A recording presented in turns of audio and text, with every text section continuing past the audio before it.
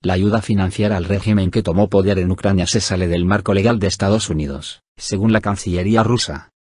Respecto a la intención de Estados Unidos de prestar ayuda financiera al nuevo gobierno de Ucrania y la declaración de Viktor Yanukovych, que expresó que Estados Unidos no tiene derecho a destinar dinero a los bandidos según sus propias leyes, la Cancillería rusa afirmó que los que toman decisiones en Estados Unidos deben reflexionar sobre las consecuencias de satisfacer de manera imprudente a los radicales en Ucrania y de financiarlos. De acuerdo con las enmiendas aprobadas hace unos años a la ley de 1961 sobre la prestación de ayuda exterior, las autoridades estadounidenses, tienen prohibido proporcionar asistencia financiera al gobierno de cualquier estado cuyo presidente legalmente electo haya sido derrocado en un golpe militar o mediante una decisión ilegal, comenta el Ministerio de Relaciones Exteriores de Rusia. Moscú hace hincapié en que, por lo tanto, según todos los criterios, la financiación del régimen ilegítimo que tomó el poder por la fuerza es ilegal. Al mismo tiempo, Rusia considera que, dada la posición actual de Washington, Estados Unidos no reconoce la ilegalidad de tal medida. La administración estadounidense, al parecer,